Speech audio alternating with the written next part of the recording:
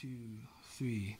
While digesting Reader's Digest in the back of a dirty bookstore, plastic flag with gum on the back fell out on the floor. Well, I picked it up and ran outside, slapped it on the window shield. And if I could see old Betsy Ross, I'd tell her how good I feel. But your flag to you into heaven anymore.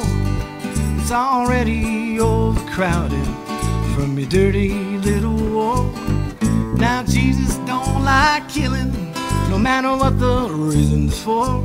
And your flag decal won't get you in heaven anymore.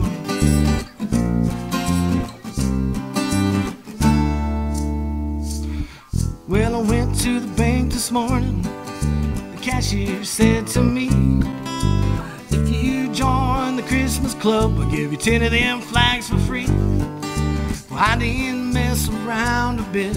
I took him up on what he said. And I stuck them stickers all over my car and one on my wife's forehead. But your flag decal won't get you into heaven anymore. It's already overcrowded from your dirty little war. Now Jesus don't like killing, no matter what the reasons for. And your flag decal won't get you in the heaven anymore.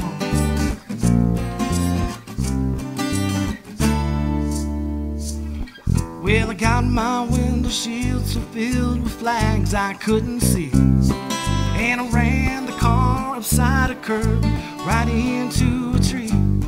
By the time they got a doctor down, I was already dead.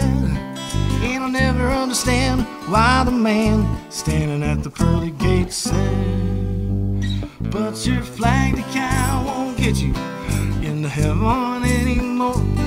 It's already overcrowded from your dirty little war. Now Jesus don't like killing, no matter what the reasons for and your flag decal won't get you in the heaven anymore.